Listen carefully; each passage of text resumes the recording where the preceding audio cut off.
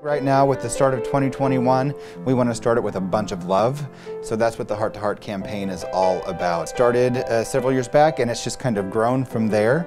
It's a Valentine's inspired event, but um, people give us messages of love, people give us uh, messages of remembrance, and, um, and people promote their business. So I think uh, it's, it's a really great way to send a little message out there of love and kindness.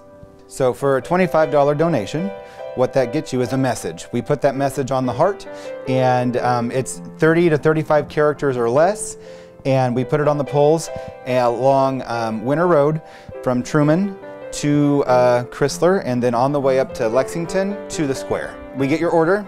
Um, it comes through online, or if you give it to us in person, however you get that order to us, then we take that order and we put the message on the heart, and then we uh, then we paint that message and we work with local artists I paint Tammy paints and if there are any artists that want to volunteer and help jump in and paint messages that's another avenue for someone to be involved you can go to the westend.org you can fill out um, your application tell us what you want on the heart and it's $25 and that helps us raise money for community arts and this year we're giving that to the newly founded Englewood Arts nonprofit every year um, we always get that hey, how do I find out about this? Or they just see him on the poles for the first time and they're just like, how do we get that?